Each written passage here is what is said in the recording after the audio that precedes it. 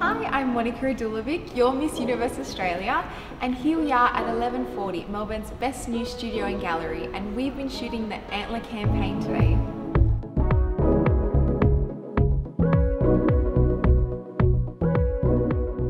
Into modelling.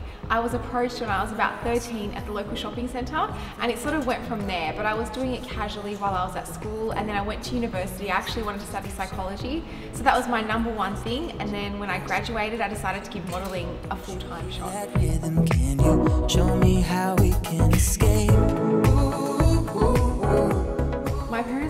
Really supportive actually. They have supported me throughout my whole life in whatever I wanted to do.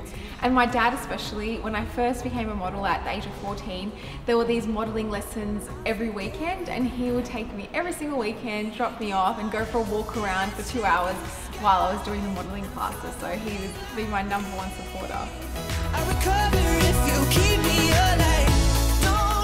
My number one beauty tip is to wash your makeup off at night. So for me, that's so important. I get my makeup done nearly every day working and having a really good skincare routine is so important. I use a Lucent Whitening skincare and it's been amazing. It makes sure all the makeup gets, you know, taken right off my face and I find that it makes my skin really good.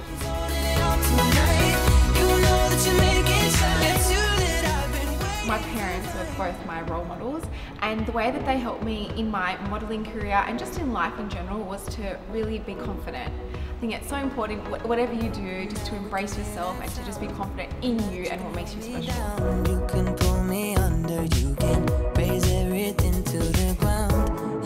I'd love to thank Luggage first and foremost for giving me this opportunity to be your ambassador and to be featured in the campaign. I'm so excited to see the photos and to thank BMW Australia for lending us your beautiful car today. It was amazing and I hope to one day be able to drive it myself.